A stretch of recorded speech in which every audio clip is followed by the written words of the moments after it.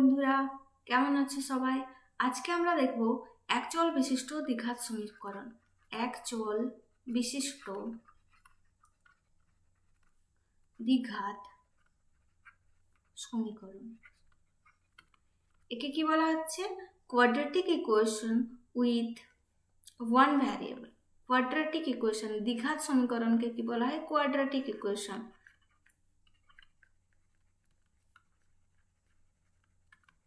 with one variable এক চল চল হচ্ছে ভ্যারিয়েবল ওয়ান ভ্যারিয়েবল ঠিক আছে? তাহলে কোয়াড্রেটিক ইকুয়েশন কোনগুলো? যার ঘাতটা দুই। ঘাত মানে কি বোঝায়? এক্সের পাওয়ারে কি আছে? এক্সের মাথার উপরে কি লেখা আছে? সে মাথার উপরে যেটা থাকে ওটাকে ঘাত বোঝায়। ঠিক আছে? তাহলে আমরা এখানে দেখতে পাচ্ছি এক্সের পাওয়ারে যদি টু এক্সের স্কোয়ার থাকে এক্সের কিউব থাকে এক্সের কিউবে ঘাত কি হয়ে যাচ্ছে? ত্রিঘাত। এটাকে বলা হচ্ছে ত্রিঘাত। যদি এক্সের পাওয়ারে এক্সের মাথায় দুই থাকে, তাহলে সেটাকে বলা হয় দ্বিঘাত।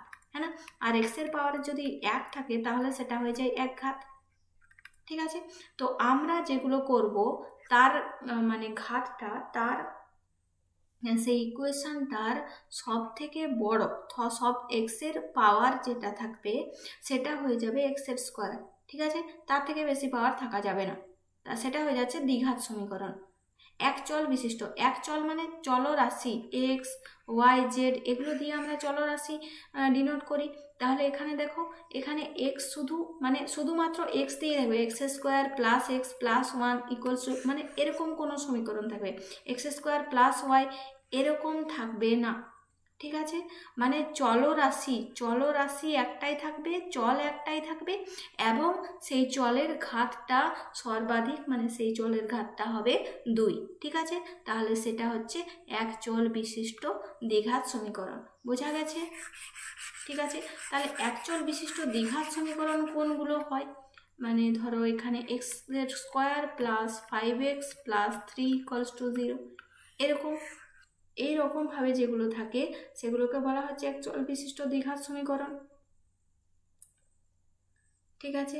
এরপরে আমরা দেখে নেব বইতে, আমাদের বইতে যেগুলো আছে, কোষে দেখি কোষে দেখি ওয়ান পয়েন্ট ওয়ান ঠিক আছে? তাহলে একের দাগের এক কি বলছে?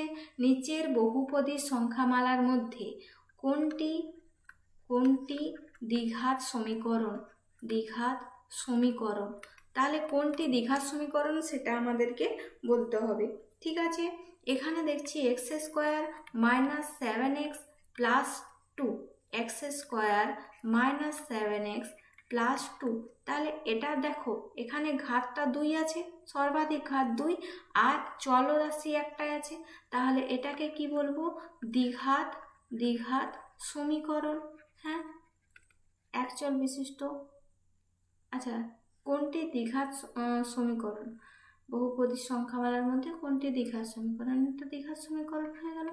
Number two seven X power five minus X into X plus two এটা ইকুয়ালস টু কী হয়ে যাবে? সেভেন এক্স পাওয়ার ফাইভ এটার সঙ্গে এটাকে মাল্টিপ্লাই করে দেবো, গুণ করে দেবো X square minus two X ঠিক আছে?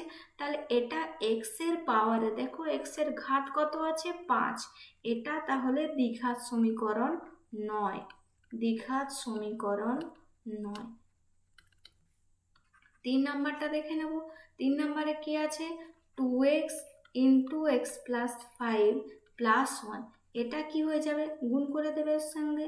Two X square plus ten X plus one ঠিক আছে? এটা কি হয়ে গেল? দ্বিঘাত সমীকরণ একচল বিশিষ্ট দ্বিঘাত সমীকরণ। তাহলে আমি লিখে দেবো এটা দ্বিঘাত সমীকরণ। এবং নাম্বার ফোর নাম্বার ফোরে কি আছে? টু এক্স মাইনাস ওয়ান তাহলে এটা, এর ঘাতটা কি আছে? এক। তাহলে এটা এটা কি লিখব? দ্বিঘাত সমীকরণ নয়। ঠিক আছে? যার মাথায় এক্সের মাথাতে দুই তো থাকতে হবে, ঠিক আছে? এখানে এক্সের মাথাতে দুই নেই, তো সেই জন্য এটা দ্বিঘাত সমীকরণ নয়। বোঝা গেছে? এরপরে আমরা দেখব দুইয়ের দাগ। দুইয়ের দাগে কি বলছে? নিচের সমীকরণগুলোকে A X square plus B X plus C equals to zero zero A B C যেখানে বাস্তব সংখ্যা এর আকারে লেখা যায় কি না তোমাকে যেগুলো দেওয়া থাকবে সেগুলো X square plus B X plus C equals to zero আকারে লিখতে হবে। তাহলে নাম্বার ওয়ানে কি দেওয়া আছে? X minus one plus one by X equals to six এটাকে দেখব লেখা যায় কি না এটা লসাগু করে নেব আমাদের এক্স থাকবে। তাহলে এখানে কি হয়ে যাবে? এক্স স্কোয়ার মাইনাস এটা এক্স হয়ে যাবে plus one equals to six এটাকে এ পাশে নিয়ে যাব। और x square minus x plus one equals to six x और এটাকে এ পাশে নিয়ে আসবো x square minus x minus six x plus one equals to zero और কি হয়ে যাবে x square minus seven x plus one equals to zero হলো x square plus b x plus c এটা সাজানো গেছে ঠিক আছে আর এখানে এ এর মান হচ্ছে এক বি এর মান হচ্ছে মাইনাস সেভেন আর সি এর মান হচ্ছে ওয়ান ঠিক আছে তাহলে ওয়ান একটা সাজানো গেছে। এবারে দুয়ের দাগটা দেখব। দুয়ের দাগটা দেখি X plus three by X equals to X square এখানে X not equals to zero X equals to যদি জিরো হয়ে যায়, তাহলে এটার এটার ভ্যালু কী হয়ে যাবে? ইনফিনিটি ঠিক আছে? সেই জন্য দেওয়া আছে X not equals to zero যেখানেই বাই এক্স থাকবে, সেখানেই দেওয়া থাকবে কি? নট ইকুয়ালস টু জিরো কেন কি? ওটা যদি জিরো হয়ে যায়, তাহলে ওই যে আমরা দেখছি যে রাশিটা, সেই রাশিটার কোনো ভ্যালু থাকবে না। ঠিক আছে? তাহলে এটা লসাগু করে নেব x x square plus three equals to x square और এটা কি হয়ে যাবে? এক্সের cube equals to x square plus three और x cube minus x square minus three equals to zero তাহলে এ এক্স স্কোয়ার এটাকে তো সাজানো গেল না, তাহলে এটাকে সাজানো যাবে না। তাহলে লিখে দেব যে সমীকরণটিকে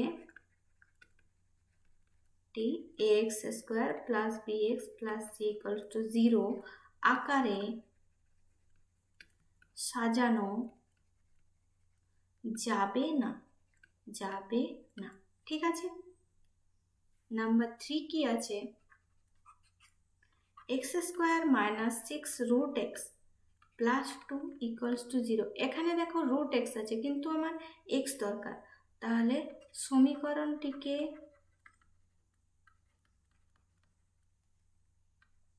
x square plus b x plus c equals to zero আকারে সাজানো যাবে না। And number four number four দেখে নিচ্ছি। এক্স মাইনাস টু এর square equals to x square minus four x plus four তো এটা তো এক্স মাইনাস টু এর স্কোয়ারই হয়ে যাচ্ছে। তো এটা তো ক্যান্সেল আউট হয়ে যাবে না। একেও এই সমীকরণটিকেও a x square plus b x plus c আকারে সাজানো যাবে না।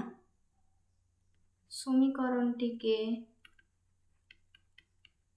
x square plus b x plus c equals to zero আকারে সাজানো যাবে না।